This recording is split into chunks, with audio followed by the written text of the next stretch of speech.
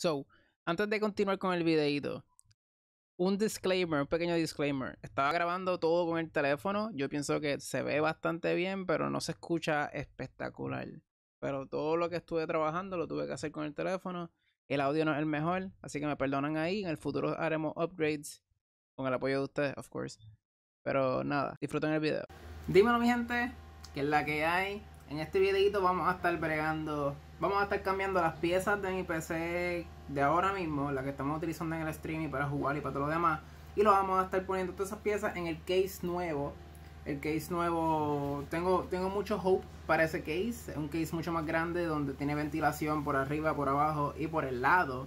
Que es algo bien interesante que no está en todos los cases toda esa ventilación va a crear mucho más, va a crear mejores temperaturas dentro de mi PC ahora mismo. Ahora mismo la PC corre bastante crispy cuando estoy jugando Call of Duty y streamando la misma vez, siempre está como en los 70 grados y eso afecta, eso afecta el performance. Eh, no una temperatura que es mala, pero definitivamente dropea frames porque las temperaturas simplemente están muy altas para correrlo al máximo.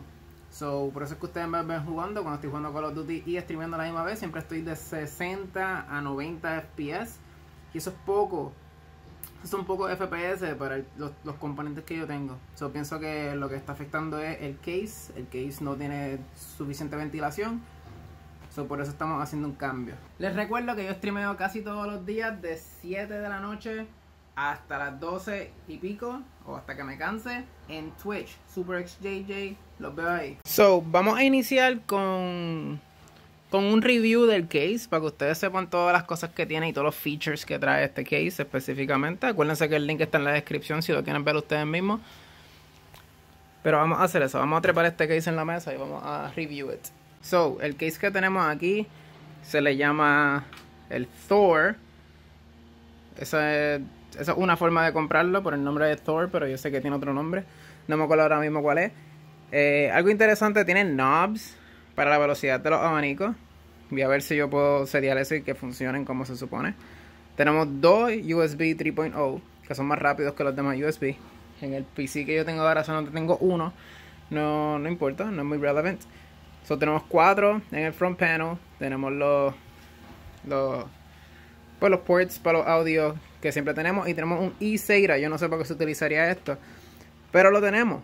Maybe en el futuro busco no consigo una función. Y tenemos el power button acá arriba. Algo que me gusta es que el front panel está como un poquito diagonal versus el mío. El, el, botón está acá al frente y casi no se ve. Está como por acá al frente y casi no se ve y siempre estoy tocando el botón raro.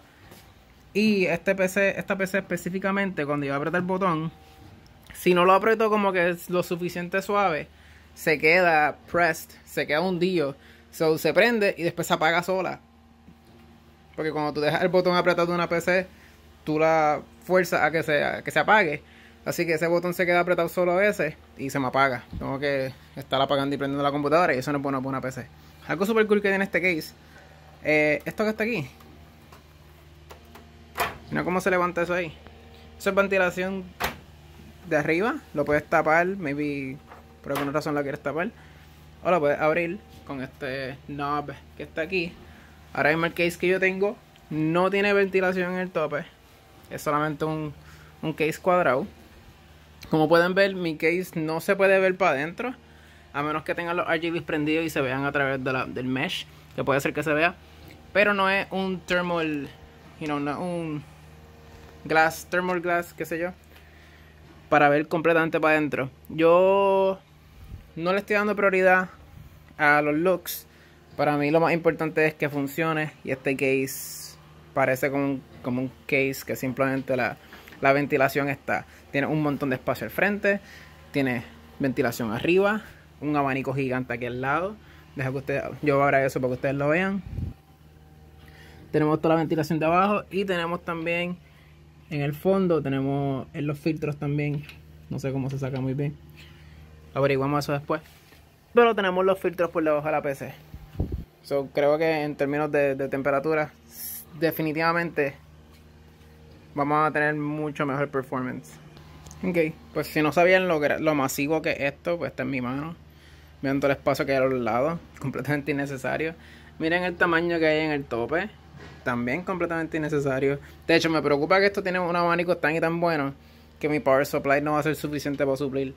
Pero vamos a ver. Y tenemos este abanico gigante también en el lado, en el side panel de la PC. Tenemos un montón de espacios para SSD, qué sé yo, que no vamos a utilizar. Significa, en realidad no vamos a utilizar tanto de ese espacio. Eh, hard drive y qué sé yo. Tenemos los cablecillos y algo que no tiene el mío, no tenemos un espacio, un fake este wall. O sea, todas las PCs tienen esto, pero hay un espacio bien cómodo y unos rotos hechos para, para el cable management.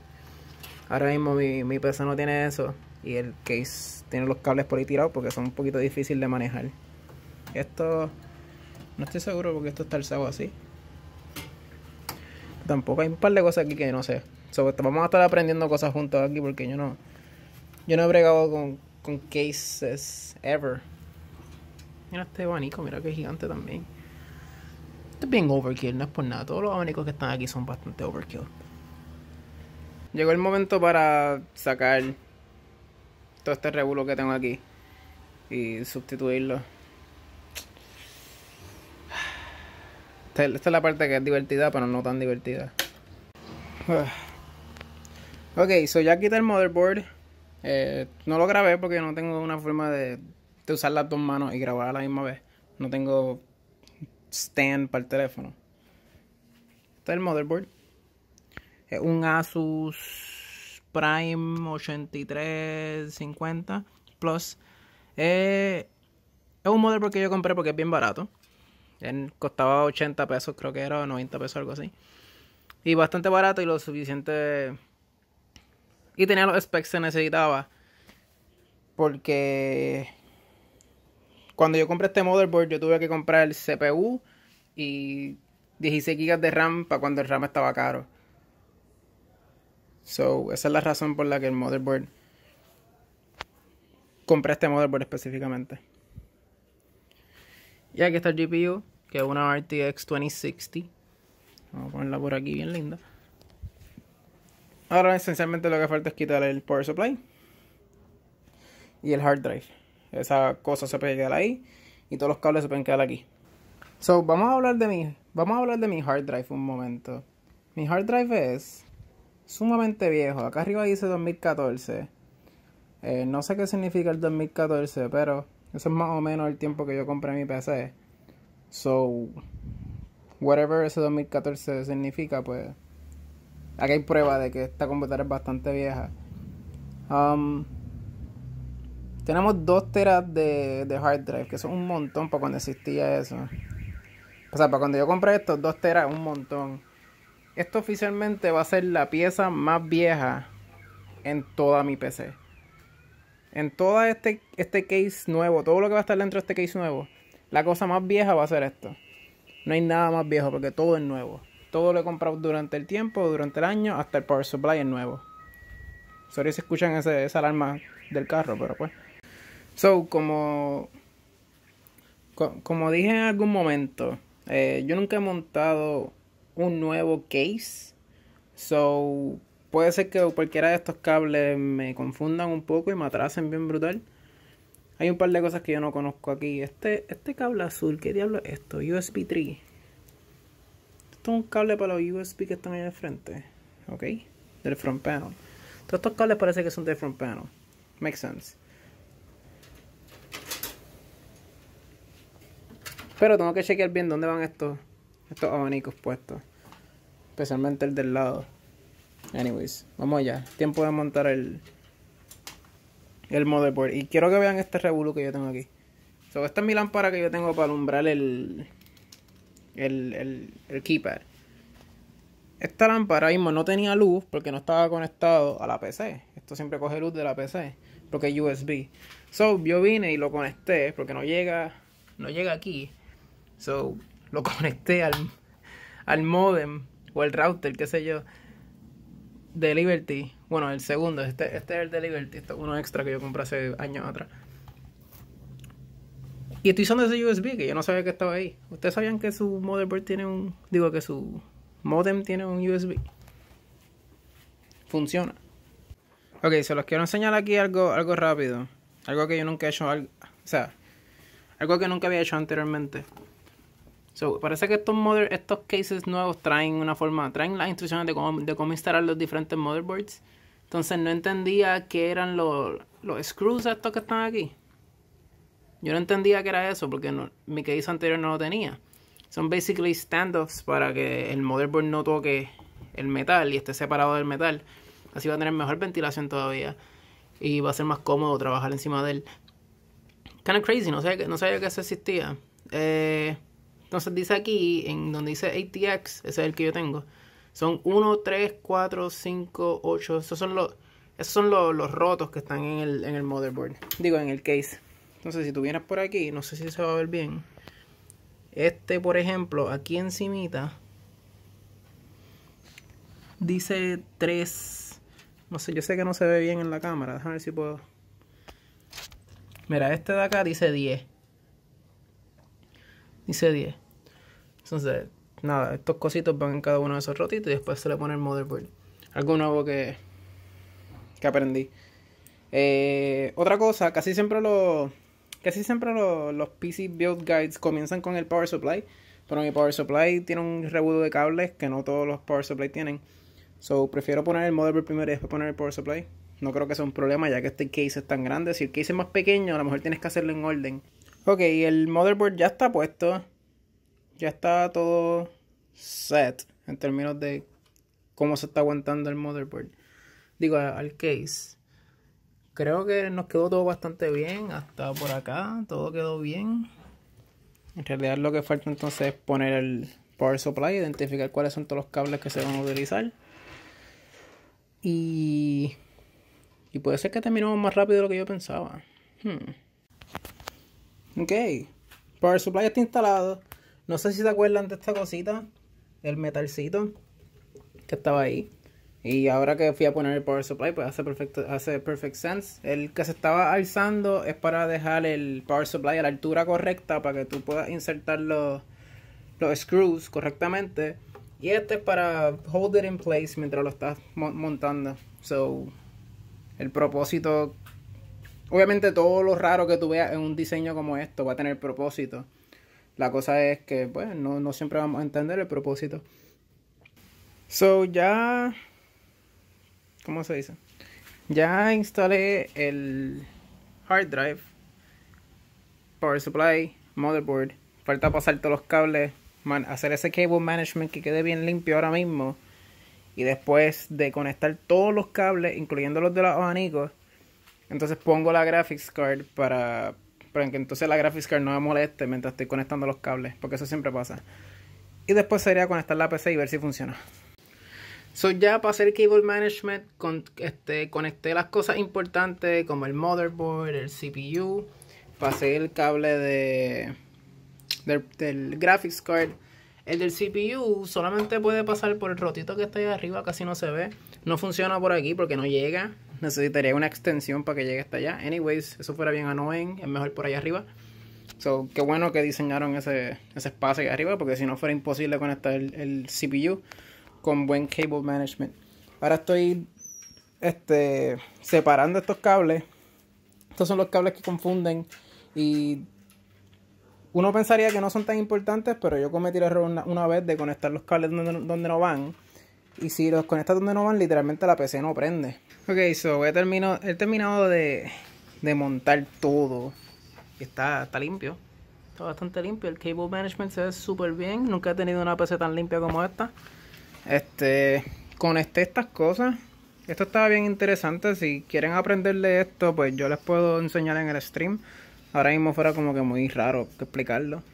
Eh, essentially, existen estas cositas que se llaman fan B1, B2, B3. Entonces son como extensiones para tus fans, porque tu motherboard no tiene suficiente espacio de, conectar fans. Y este case nada más tiene cuatro.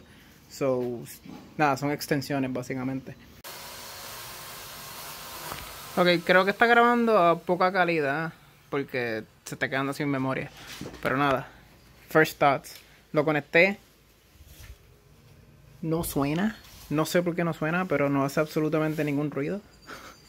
Este, it booted funciona perfecto desde la primera. Eso nunca me ha pasado. Está todo perfecto, solamente tiene el mouse conectado. Obviamente los cables de atrás no están limpios, pero los de frente sí. Eh, nada, esto se ve como un success. Estoy pensando poner ponerlo acá. Creo que acá está mejor. Lo he tenido acá, pero siento que los cables están demasiado estirados. Bueno, pues ya terminé. Ya terminé de montar todo. no me dio tanto trabajo montar el case como tal. Yo creo que no me dio la cantidad de trabajo que yo pensaba porque ya llevo tanto tiempo montando pieza por pieza, limpiando la PC, cambiando CPU cooler, cambiando thermal paste. Toda esa experiencia pues, definitivamente me ayuda a montar la PC, que de hecho no cometí ningún error y pude conectar todo bien de la primera y prender y ya todo funciona súper bien. Eso usualmente no, no ocurre, por lo menos a mí no me ocurre. Tengo un par de cosas nuevas para enseñarles a ustedes. No voy a enseñar el setup completo todavía porque me falta una sola cosa de eBay. Cuando me llegue eso de eBay y lo monte, pues entonces voy a hacer un review de todas las cosas que yo tengo en mi setup.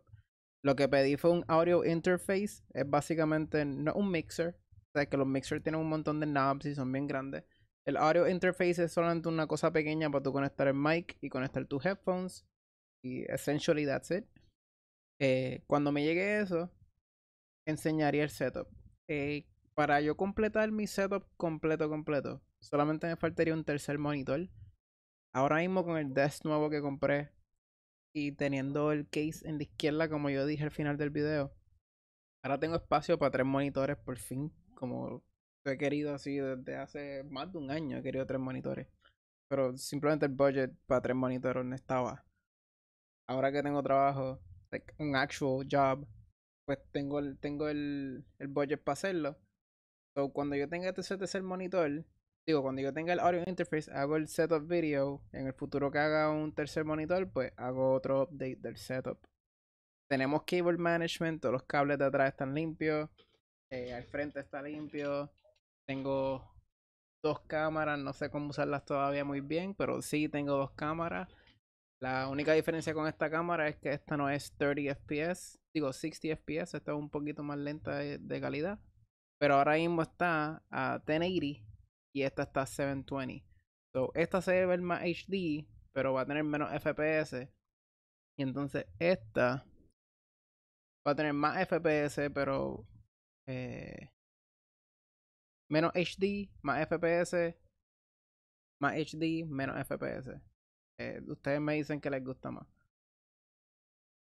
Pero nada, mi gente. Eh, gracias por ver el videito. Asegúrense de suscribirse al canal, dejar comentarios en el.